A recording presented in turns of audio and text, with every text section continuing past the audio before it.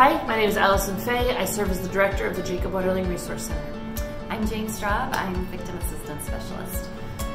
How did the 11 for Jacob movement start? Look at Jacob's life as a book. My frustration is it felt like this offender got to write the last chapter in Jacob's book, and that to me wasn't fair. He shouldn't even get to write a sentence. And so part of the 11 for Jacob movement is for us deciding how the book is going to end and for us writing the end of the book in a way that honors who Jacob was.